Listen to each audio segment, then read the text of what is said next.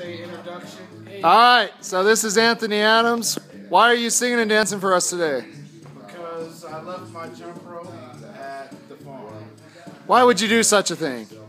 Uh, it was mindless, I tell you. I never thought I'd be a victim to the song of the dance, but it's contagious and it will come around you.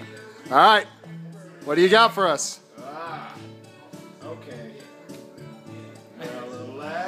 Dance is so much better when the stripper is crying.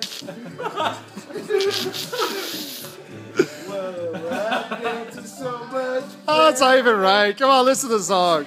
Rights me against her will. This song you guys just told me to dance. so much better. When the stripper